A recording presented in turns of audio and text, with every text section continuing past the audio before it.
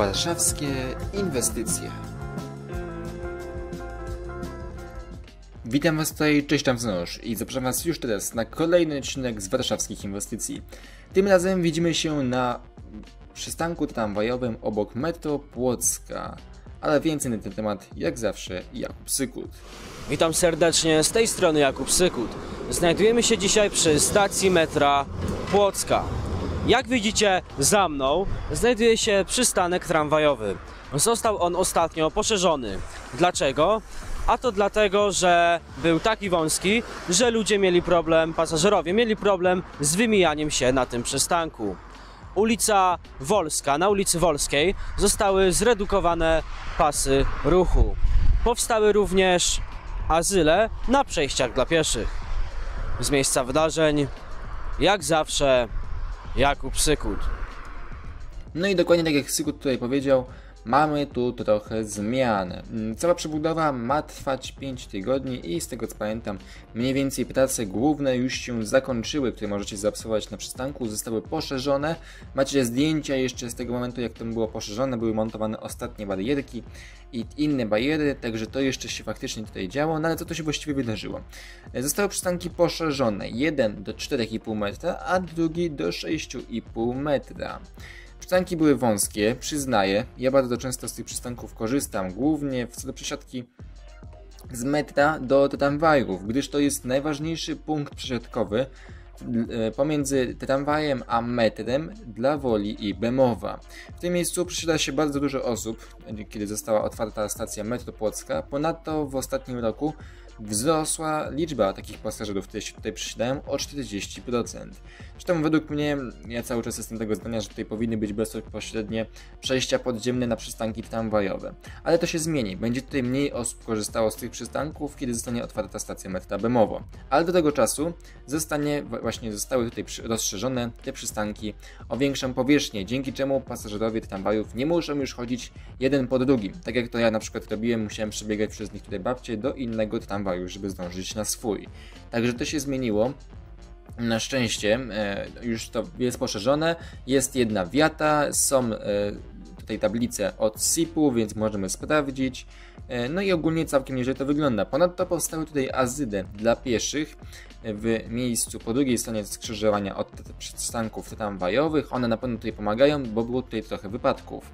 E, Ponadto zostało tutaj zabezpieczony ruch, bo nie ma skrętu bezpośrednio w ulicę e, Płocką od ulicy Wolskiej w kierunku Bemowa. To zostało usunięte i faktycznie ta zawrotka, która jest tam trochę dalej, mam zdjęcie jej też możecie zobaczyć.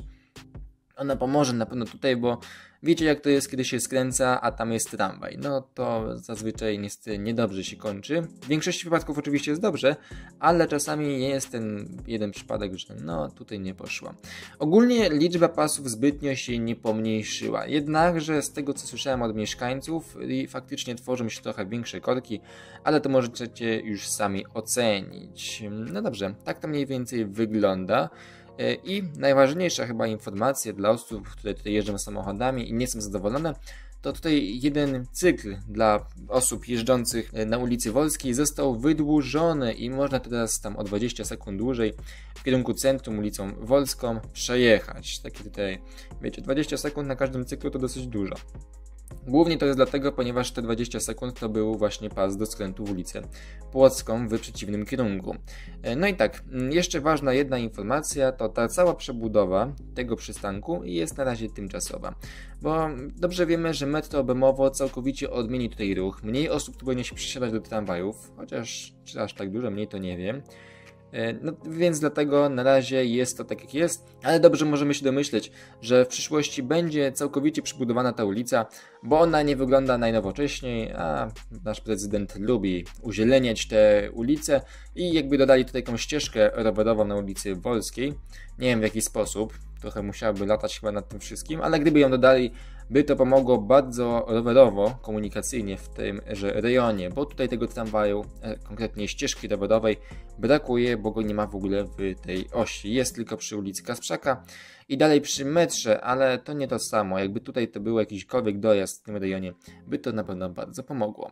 Także tak to mniej więcej wygląda. Przystanki autobusowe zbytnio nie zostało poprzestawiane, wyglądają jak wyglądają. No i tak jak mówiłem, przystanki są poszerzone tramwajowe. I z mojej strony to akurat jest na plus, bo ja faktycznie stąd korzystałem i dla mnie było mniej. Dobrą nowiną jest też to, że takich przystanków będzie więcej. Zostało już poszerzonych 14 przystanków na Grochowskiej, ale będą kolejne dwie trasy, gdzie będą poszerzone przystanki. E, pierwsza to będzie na Jana Pawła, e, od kina Femina do Ronda Babka. E, ponadto będą też na Grujeckiej i Krakowskiej. Przygotowania już koncepcyjne trwają, nad którą teraz będziemy pracować wspólnie z miejskimi drogowcami, czyli z DDM-em. Oczywiście później też będzie przebudowa Alei Zoimskich, już bezpośrednio po e, przebudowie całej linii średnicowej i tam przystanki tramwajowe też będą poszerzone i przedłużone. Z tego co pamiętam ten przystanek na Chorzej trochę się tam dosyć mocno pozmieni. Ale to jeszcze trzeba poczekać aż faktycznie przebudowa średnicy w ogóle się rozpocznie i będziemy wiedzieć mniej więcej dokładniej jak to wszystko w tej okolicy będzie wyglądać. Dobrze, mam nadzieję, że taki materiał Wam się podobał, taki bardziej informacyjny z ciekawostek. Jeśli tak, to zostawcie łapkę górę. Jeśli chcecie zobaczyć więcej materiałów na moim kliknijcie subskrybuj i ten dzwoneczek. I do zobaczenia już wkrótce w kolejnych materiałach na moim kanale. Jutro zobaczymy co będzie, może kolejne przystanki albo jakaś inwestycja drogowa. Tak czy siak będą to kolejne warszawskie inwestycje. Do zobaczenia. Cześć!